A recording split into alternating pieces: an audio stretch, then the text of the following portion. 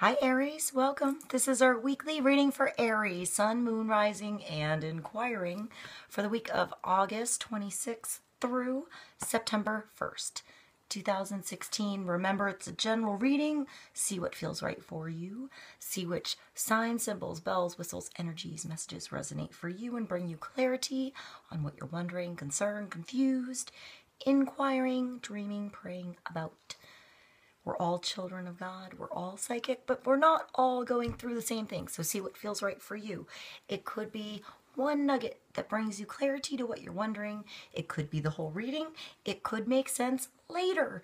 In the end, always use your logic and intuition together to make sound decisions based in love for the highest and greatest good of everyone involved in the situation and so on. So we are all uplifted in love see how it feels for you, um, how you ride these energetic waves that come through. Here is always up to you in the end. Aries, see how it feels for you. Is it your wave? Is it not your wave? Are you waiting for another wave, preparing for the wave, crashing into the wave, riding the wave? You get the gist? I would also suggest if you want to make this an interactive video with me and pull some cards for yourself, feel free. See if um, further depth, clarity, or personal signs and symbols come up for you for this reading. Um, let's begin, Aries. I'm going to start with the I'm going to start with the Fairy Messages Oracle deck. So let's see what God's Source, Holy Spirit, our higher self, angels, and energies of love have for Aries. August 20, well, that's a jumper, August 26th through September 1st for the highest and greatest good of all. Aries, this is nice. This is healing, healed, and healer. You know, I feel like threefold. You know, you're healing others, you're healing yourself, and there's spiritual healing here too. I want to say working with spirit in this whole process. It's healing energy surrounds you and this situation. So, what does that make you think of, Aries? What situation in particular is that? Perhaps there's a little love, a little healing, a little compassion coming in that particular situation. Let's get more clarity. Let's go to um, let's go to the numerology cards and get a get a card here for Aries. Let's get more clarity to the week. One card for Aries. Hmm, I feel like that one wants to come. so we're going to take this one. This is the karmic completion. So it's a 10. It's an ending and it's a beginning. This is nice, although sometimes this is hard. you know, to be honest, Aries. It's not always hard to complete something and to start something new. You know, sometimes that's you know, that's a big step.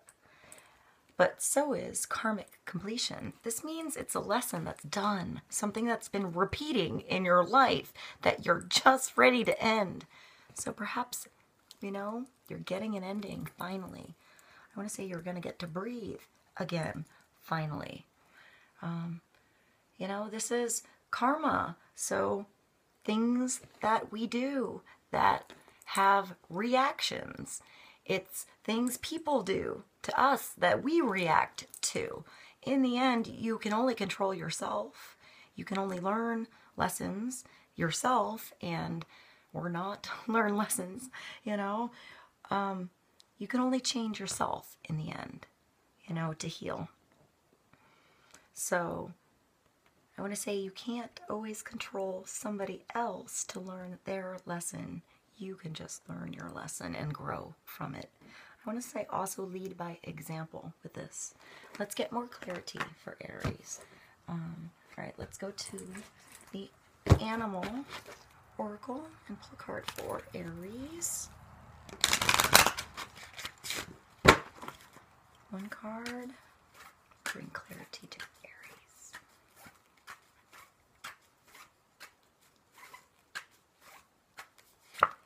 The dog. So in this deck, it's different from other decks. In certain decks, I want to mention that the dog is loyalty. You know, it's unconditional love. It's um, companionship. It's uh, devotion. In this deck, it's telling you your loyalty is and faithfulness is misplaced by serving too many masters. So you're spreading yourself too thin somewhere, Aries, and it's time to, I want to say release those those attachments, take the take the chain off of that situation, those situations that aren't good for you. They're not healthy for you, you know. They're not taking you to the right park where you get correct exercise for your soul. You know, they're not feeding you properly. You're not getting your nutrients there. You know, they're not leaving good music on for you to listen to. Nothing's right there. So you need to find where that place is. Perhaps it's starting by taking care, care of yourself first. You know, let's get more clarity. Let's go to the um, Let's go to the I Ching of Love. I hear it starts with you, Aries. It begins with you. It begins by you taking off those chains yourself and moving forward. You know, going back to the home that you belong at, where you can smell and they love you unconditionally, you know, Perhaps there's other animals there that are different than you. Whatever that means to you, Aries. But I, I see someone going back to a home that has like a lot of animals. Like a dog and a cat and a bird. Perhaps a pony. Um, bless you. Let's pull another card for Aries. Ooh, sex. This is Shang. It's 46. It's a 10, so it's completion. And in this deck, it means sex. Aries. It's love equals sexuality in the beginning, right? In the beginning, it's chemistry. It brings two people together in ways that words can't explain. You know, it passes those boundaries. You know, it's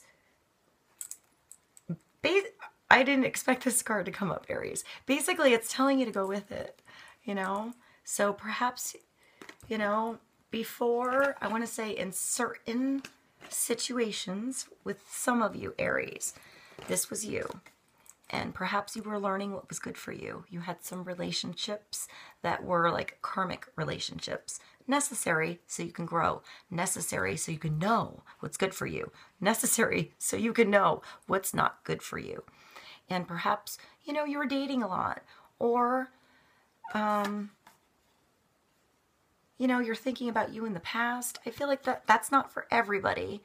I feel like for some of you, it's spreading yourself too thin with your like job, you know, doing too many things at once having too many tasks, putting too much in your schedule, and not doing a good job, as, as good a job as you can do, Aries, if you had just given a little more focus to one of those things that you really care about. Now, coming back to relationships, remember it's a general reading. This is not for everybody. Um, we're going to go go to this because this is reality land here. Everybody thinks about this, you know, at some point. Um, it's helping you learn about what's good for you, you know, what intimacy is for you, Aries, you know, what the boundaries are for you, how to develop, you know, your sexuality. You're human, it's real. What is good for you? How do you express it? Are you with somebody you express it fully with? Can you open up more? You know, can you share more? It's helping you to develop. You know, it's helping you open up. It's helping you learn to release yourself into the game of love. You know? Now we need to pull another card for Aries. Oh my Aries, I didn't expect that. Let's go to the Art of Life Tarot and pull a card for Aries.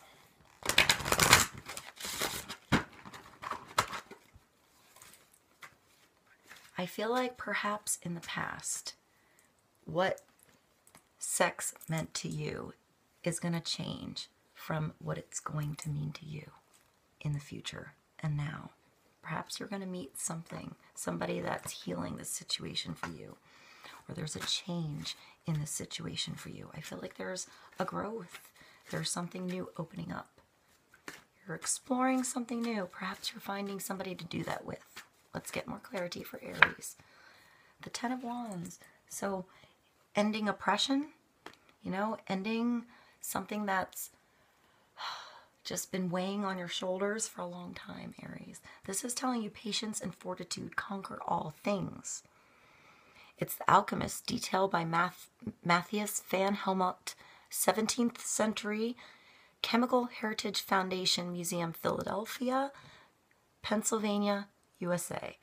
And the quote is Ralph Waldo Emerson. Look at that card. Look at all the books. Look at how hard he's looking at that book. How intense he is. He's thinking so hard. You know, he can't think straight anymore. But it tells you to keep going, Aries. Keep going with the situation. Be persistent. It's almost done. In other cases, it is done, Aries. And you've learned what you need to learn. And you're starting something new, a new beginning. You know, it's a 10. So it brings you to a 1. It's a transition card. So let's move to the Sacred Rose Tarot and pull another card for Aries. On this transition, this understanding.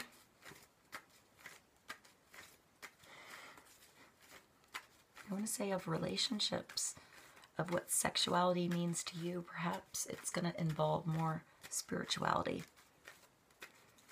I mean, you're watching this video, so I feel like if you're here, you know, you're looking for something deep. You're looking for something meaningful. So perhaps there's a change coming and something meaningful, you know, for you is coming its way. I want to say go with the flow. You know, don't hold back if this comes into your world. Trust yourself, trust the situation, and trust that your vibration is going to match the vibration of who you're going to meet or be with. You know, there's growth here. This is the Nine of Swords. So, nightmares, getting stuck in your head, stuck in worry, not seeing the other side of a situation, feeling trapped, feeling locked, not trusting your intuition. Um, but it's a nine. So if you turn this around and you start to trust your intuition, you start to trust that you can allow these chains to drop. You don't have to see the whole picture to know which way to go, to feel which way to go, you know? Um, it's like you're covering your own eyes in this situation and refusing to see something further. Let's go to the angel tarot cards and pull another card for Aries. I hear, you know, afraid to let something go. Whatever that is. Afraid to see the truth, afraid to see reality. Perhaps there's something you're not meant to know, but um, hard when you can't sleep right. Let's get another card. Maybe it's forgiveness for yourself, for your past, for your partner, you know, your situation. The Queen of Raphael. So, matters of the heart, matters of emotion, kind, understanding, giving, psychic. It's a water sign. Cancer, Scorpio, or Pisces. I feel like this is somebody mature, somebody possibly in your world to help you out of this situation, or possibly the person in the situation with you, or you have water in your chart. But it's telling you to trust your intuition and your gut. Follow your heart. It's a love of home and family, and it's trustworthy psychic information. That information starts with what you know inside of you to be true. Trust those emotions. Dive deep,